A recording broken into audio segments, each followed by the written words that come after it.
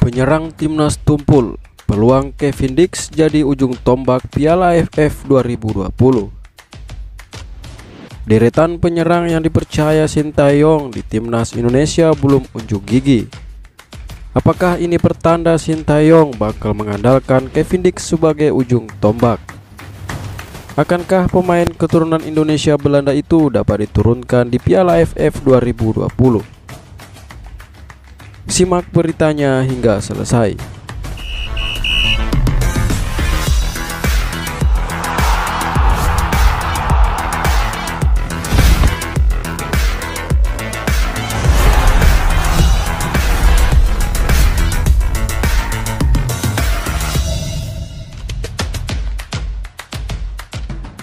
Sintayong sudah 8 laga memimpin timnas Indonesia di laga kompetitif dari 8 laga itu, skuad Garuda mencetak 11 gol. Namun dari 11 gol yang dicetak, tak ada satupun yang dilesakan penyerang timnas Indonesia. Sejauh ini, gol-gol timnas Indonesia diciptakan oleh gelandang maupun pemain sayap seperti Evan Dimas, Kadek Agung, Ramai Rumakik hingga Witan Sulaiman. Sebagai persiapan turun di Piala AFF 2020, Sintayong sebenarnya juga membawa dua nama lain yakni Ezra Walian dan Sani Sagara.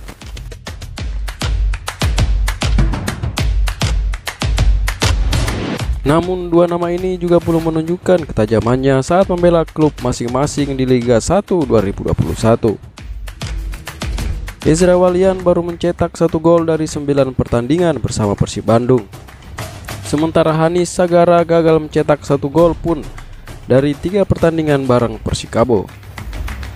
Karena itu, jika proses naturalisasi kelar sebelum 5 Desember 2021 mendatang, Kevin Dix berpeluang dimainkan Sintayong sebagai ujung tombak timnas Indonesia.